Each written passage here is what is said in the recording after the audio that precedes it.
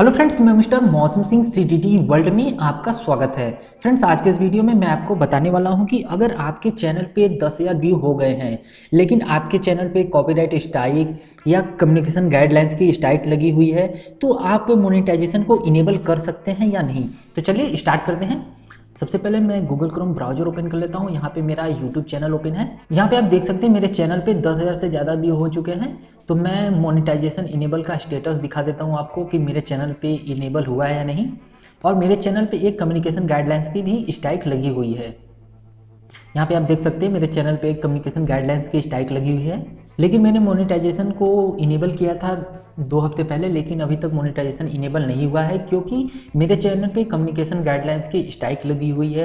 अगर आपके भी चैनल पे कम्युनिकेशन गाइडलाइंस की स्ट्राइक लगी हुई है, या कॉपीराइट स्ट्राइक लगी हुई है तो आपके चैनल पे मोनेटाइजेशन नहीं होगा। जब तक कि आपके चैनल से कॉपीराइट स्ट्राइक या कम्युनिकेशन गाइडलाइंस स्ट्राइक रिमूव नहीं हो जाता। इसलिए फ्रेंड्स आपको कॉपीराइट स्ट्राइक या कम्युनिकेशन गाइडलाइंस की स्ट्राइक को रिमूव होने तक का वेट करना ही पड़ेगा। इसके बाद ही आप अपने चैनल पे मोनेटाइजेशन को इनेबल कर सकते हैं। ओके फ्रेंड्स अगर ये वीडियो पसंद आया हो तो लाइक करें और अभी तक आपने मेरे चैनल को सब्सक्राइब नहीं किया है तो सब्सक्राइब करें और बेल बटन को ऑन करना ना भूलें ताकि हमारे चैनल के लेटेस्ट अपडेट आपको मिलते रहें। Thank you